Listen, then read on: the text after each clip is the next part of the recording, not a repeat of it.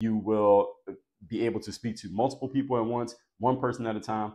Everything you do gets better because you're a good public speaker. People will have more confidence in you.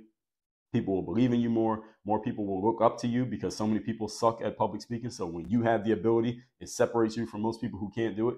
All of these things make public speaking a force multiplier.